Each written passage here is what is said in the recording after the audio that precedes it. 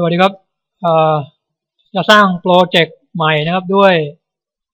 main file ครับในหน้านี้นะครับจะสามารถใส่โปรเจกต์ไว้ได้หลาย ๆ โปรเจกต์นะครับ แล้วเราจะใช้อันไหนก็คลิกอย่างนี้นะครับ คลิกที่ชื่อโปรเจกต์ของเราตั้งนะครับ แล้วก็ให้คลิกคลิก set as main project นะครับ อันนี้ unset แสดงว่าอันนี้เซตไปแล้วครับ อันนี้แปลว่าเป็น set main project นะครับ เวลาอ่า build นะครับ เวลา compile นะครับ มันจะ อ่า compile เฉพาะ main project นะครับวิธีสร้างก็คลิกไฟล์ครับ คลิก new project ครับคลิก miss อะไรนะคลิก microchip embedded ครับคลิก standalone นะครับ คลิก standalone project ครับ คลิก next ครับเลือกตระกูลครับ ผมใช้ 18เพราะว่า18 f 4 5 5 0กับ 16 f 8 7 7นะครับ ราคาห่างกันแค่บาทสองบาทนี่ครับ ไม่รู้จะใช้ทำไมครับ ใช้เบอร์18นี่คุณสมบัติสูงนะครับ สามารถใช้อาพุนอัพได้เยอะครับจากนั้นก็คลิกเลือกเบอร์ครับผมจะใช้ 18 f 4 5 5 0 ครับ คลิกครับจากนั้นคลิก next ครับ จากนั้นก็ผมใช้ simulator ภายในนะครับยังไม่มีเงินซื้อไอ้ข้างนอกนะครับ ใช้ simulator เอาก็ได้ผลดีครับ คลิก next ครับจากนั้น xc8 ครับ compiler นะ อันนี้คือ mpasm นะครับ เป็น assembly นะครับ assembler นะครับ เราเขียนเป็นภาษา C ง่ายกว่าครับ xc8 ครับผมติดตั้งตัวเดียวนะครับมันมีของฟรีเราก็ใช้ของฟรีนะครับจากนั้นก็คลิกนะครับจากนั้นตั้งชื่อโปรเจกต์ครับ ผมจะตั้งเป็น bb ครับจากนั้นไว้ที่ไหนครับผมจะไว้ที่ c user sc desktop นะ ผมจะไว้ที่ desktop นะครับโฟลเดอร์ที่ชื่อ aa ครับ อ่าอย่างนั้นก็คลิก finish อ่าก็เรียบร้อยแล้วครับอ่าเราก็จะมาดูโปรเจกต์ของเรานะครับอ่าโปรเจกต์ bb อยู่ไหนครับอ่าโปรเจกต์ bb อยู่นี่นะครับโปรเจกต์ bb ที่เราสร้างขึ้นมาใหม่นะครับ มีโปรเจกต์ aa โปรเจกต์ bb นะครับ aa นะครับ a แล้วก็ไม่มี bb ครับอ่าหลังจากมีโปรเจกต์แล้วเรายังไม่มีไฟล์ครับ เราจะต้องสร้างไฟล์ภาษา C ก่อนนะครับ เราก็ต้องคลิกขวาตรง source file ครับ คลิกขวาครับ new ชี้ที่ new ครับหลังจากชี้ที่ new เสร็จแล้วก็เลื่อนมานะครับ มาที่ c main file ครับอ่า c source file เราสร้างไปแล้วนะครับตอนแล้วตอนที่แล้วมี c source file ครับ c main file ครับอ่ามันจะต่างกันที่ว่า c main file จะมีเขียนมาให้นะครับอ่าเขียนหัวมาให้นะครับ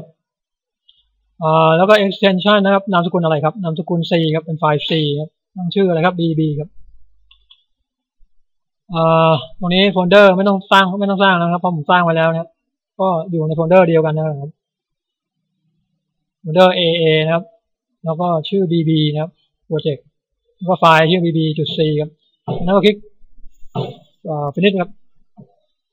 นะครับอ่าจะมีการสร้างครับไฟล์นะอ่าโปรเจกต์บอก BB จุด C นะครับอ่าผู้เขียนคือ SC คือผมเองครับ เราสร้างเมื่อวันที่อะไรวันที่เก้าครับ เดือนอ่าเป็นเครื่องหมายคำถามไปเลยครับอ่ามิถุนายนครับ ก็จูนครับ ตรงนี้เขาไม่รู้ทำไมไม่เขียนเป็นจูนครับงงอ๋อเป็นภาษาไทยครับ อาจจะเป็นภาษาไทยก็ได้นะครับ จูนครับ เดือนมิถุนายนนะครับอ่าเดือนมิถุนายนครับปีสองสองพันห้าร้อยห้าสิบแปดครับ วันที่เก้าครับอ่าผมสร้างไว้ในวันที่เก้าคือวันนี้ครับมิถุนายนสองพันห้าห้าสองพันห้าร้อยห้าสิบแปดเวลาสิบเจ็ดนาฬิกาสิบหกนาทีครับอ่าห้าโมงเย็นนะครับ นนี้แล้วก็เข้ามานี่ include อะไรมาให้เสร็จเลยครับ แล้วลองคอมไพล์ดูสิครับเราต้องคลิกขวาที่โปรเจกต์ BB ของเราก่อนครับอ่าจากนั้นก็ยังบิวไม่ได้นะครับ นี่นะครับ unset อ้าวเขาเซตให้เราแล้วเลยครับ เออทำไมเซตให้เลย อ๋อเซตให้เลยนะครับ ถ้า AA นะครับต้องคลิกขวา AA ครับ เห็นไหมครับอันนี้เขาไม่ได้เซตให้นะครับ ถ้าอันนี้เวลาเรา compile อันนี้จะไม่ compile นะครับ AA เพราะเรา เขาให้เซตนะเราไม่ได้เซตนะครับ เราไม่ได้คลิกโปรแกรมโปรเจกต์นั้นก็ยังไม่ไม่ได้รับการ compile ครับส่วน BB เราเพิ่งสร้างขึ้นใหม่เขาก็จะยังไงครับก็เรียกว่าเป็น compiler ที่ฉลาดครับ เมื่อเราสร้างใหม่เขาก็รู้เลยว่าเราจะต้องเอาบิวอันนี้แน่นอนครับ เพราะว่าโปรเจกต์เก่าเราบิวไปแล้วผ่านไปแล้วนะครับเขาก็จะเป็น compiler ที่ฉลาดบอก เขาก็จะเซตให้เราเสร็จเลยครับเขาเซตไปแล้วครับ set as main project ไปแล้วครับโปรเจกต์สร้างใหม่ครับเขารู้ว่าต้องต้อง compile ตัวนี้แน่นอนครับอันนี้คือ unset ก็แสดงว่าเราเซตไปแล้ว ถ้าเราคลิก unset ก็จะแปะก็จะขึ้นคำว่า set ขึ้นคำว่า set ก็แสดงว่ายังไม่ได้เซตนั่นเองครับอ่ามันจะกลับนะครับ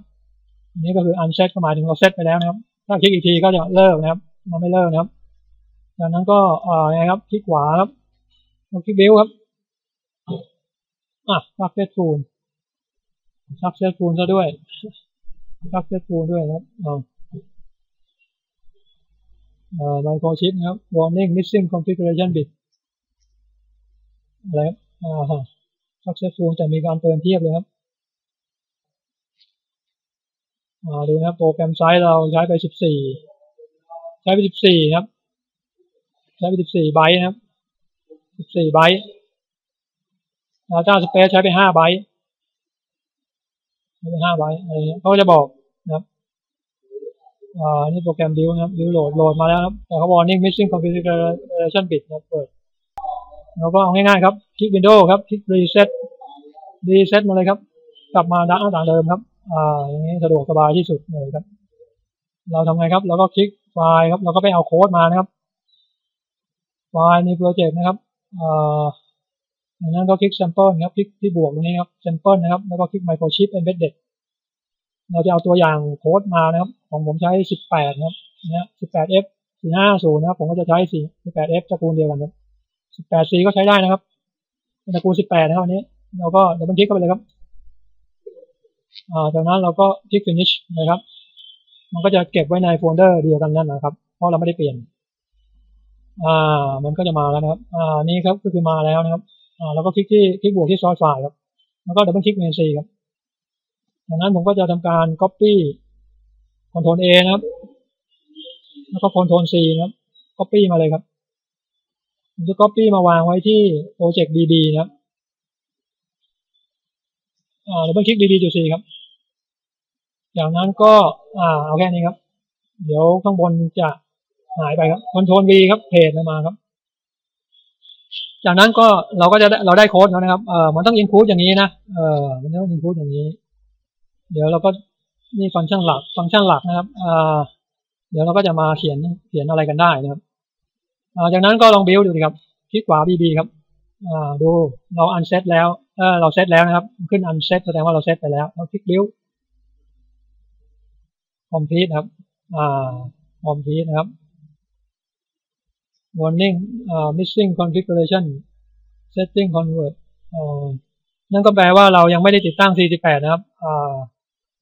ก็ถึงบอกนะครับว่าเขาจะฟ้องนะครับ configuration bit ตรงนี้นะครับ ว่าเรายังไม่ได้ติดตั้ง 48 มานะครับ เพราะว่า configuration bit จะต้องใช้ของ 48อ่าเป็นค่าเริ่มต้น ดังนั้นเราก็ไม่ไม่มีนี่เราผมไม่มี 48 เมื่อผมไม่มี 48 ผมก็ไม่ใช้ ผมก็ใช้ของฟรีไปคือ XC8 ดังนั้นก็ไม่เป็นไรครับ ไม่มี ไม่มีก็ไม่ต้องตกใจครับ เราก็สามารถใช้งานได้ครับ ก็เขียนได้ทำงานได้ทำงงานได้ก็โอเคแล้วครับ เราชอบใช้ของฟรีก็ต้องแค่นี้ก่อนครับอ่า view successful นะครับ อันนี้ก็คือสำเร็จเรียบร้อยนะครับเตือนนะก็คือเตือนว่า configuration bit เราต้องหมายความว่า 48 เราไม่ได้ติดตั้งแค่นั้นเองครับ แต่เราก็สามารถเอาไป โหลดเข้าไอตัวไมโครคอนโทรลเลอร์แล้วก็สามารถสั่งงานได้เหมือนกันครับอ่าจะทำให้ดูก่อนอ่ามันจะทำงานได้จริงหรือเปล่าครับอ่าคลิก Windows ถูกแล้วครับอ่าคลิก Windows นะคลิก Reset Windows ให้กลับมาหน้าต่างเดิมนะครับอ่าจากนั้นก็จะลองเอาไฟล์นี้ไปนะครับ ไฟล์นี้ก็ว่าไงครับพอร์ต B0F นะครับ กระพริบนะครับเป็นไฟกระพริบนะครับ เกิดขึ้น 0F แล้วก็ delay ไว้ชั่วขณะนะครับ แล้วก็พอร์ต B เป็นศูนย์นะครับ เป็นการอ่าเป็นวงจรไฟกระพริบนั่นเองครับอ่าก็สรุปเลยครับ การสร้างด้วย main อ่า main file ไอ้ main อ่าสร้างได้เลยครับอ่าแล้วก็คลิกที่ source file คลิกขวาที่ source file นะครับแล้วก็ชี้ไปที่ new C main file นะครับ จะดีกว่านะครับ เพราะว่าเขาจะบอกชื่อที่เราทำนะครับ และโปรเจกต์ที่เราทำวันไหนเวลาอะไรนะครับ ซึ่งดีครับ ถ้า C ซอสไฟล์นี่ก็จะล้นๆไม่มีอะไร ซึ่งก็ไม่ดีจากนั้นเราก็ทำการบิวผ่านแล้วครับทีนี้เราจะรู้ยังไงว่าใช้ได้หรือได้ไม่ได้ เราก็ไปเอาอ่าโปรตีอุสขึ้นมาครับ เป็นการจำลองของจริงครับเราก็จะมาลองกันเลยนะครับ ว่าของจริง อันนี้คือของจริงนะครับ ของจริงๆครับก็ถ้าเราจำลองในนี้ผ่านก็ 99.9%ผ่านครับ จำลองได้แบบเกือบร้อยเปอร์เซ็นต์เลยนะครับ99.9เลยนะที่ใช้มาเนี่ยโอ้โหเป๊ะนะครับแล้วคลิกขวาครับ แล้วก็เอ่อคลิก edit property ครับหรือจะ double double click สองครั้งก็ได้นะครับเอ่อจากนั้นก็คลิกที่โฟลเดอร์นะครับเอ่อแล้วก็ไปเอาเอ่อผมอยู่ที่ desktop นะครับ เพื่อจะเอามาง่ายๆนี่โฟลเดอร์ AA ครับ ก็มีโปรเจกต์ชื่อ BB ตรงนี้นะครับผมคลิกเข้าไปครับ this นะครับ แล้วก็ default นะครับ แล้วก็ production นะครับ แล้วก็ BB เข้ามาแล้วครับจากนั้นคลิกอ่า4 MHz นะครับอ่าใน MPDF XIDE นะครับเขาจะค่า default ก็คือ 4 MHz นะครับคลิก stop นะครับ คลิกโอเคครับ จากนั้นก็คลิกเล่นเลยครับ ปรากฏว่าไม่อ่าอะไรเสร็จครับ ปรากฏว่าไม่ติดอะไรเลยครับอ่าเดี๋ยวก่อนครับ ปิดไปก่อนครับ มันไม่เหมือน 16 F8 เอ้ย16 F877 นะครับ นั่นก็คือโปรติอุสมาอย่างนี้ก็ยิงเข้าได้เลยครับ แต่อันนี้ต้องมีเพิ่มเติมเล็กน้อยนะครับสำหรับโปรติอุสนะครับเขาจะอะไรอะไรเขาจะต่อให้เสร็จนะครับ แต่ตัวนี้เขาไม่ได้ต่อให้นะครับ MCLR นะครับอ่าแล้วก็ VPP นะครับอ่าเราต้องต่อไฟบวกเข้าไปที่ขา VPP นะครับนี่จะสามารถใช้งานได้นะครับ เดี๋ยวผมก็จะคลิกนะครับ คลิกตรงนี้ครับ จากนั้นก็คลิกอ่า power ครับ ไฟนะครับ แล้วก็คลิกมาครับอ่าจากนั้นก็อ่าลากเข้ามาครับเสร็จแล้วผมก็จะคลิกเลยครับ อ่า เป็นไงครับกระพริบได้แล้วครับนะเราไปใช้ก็ได้ครับ ไม่ต้องติดตั้ง 48 นี่นะครับ นี่นะครับ ใช้ได้นะครับพิสูจน์แล้วใช้ได้นะครับตอนนี้ก็แค่นี้ก่อนครับ สวัสดีครับ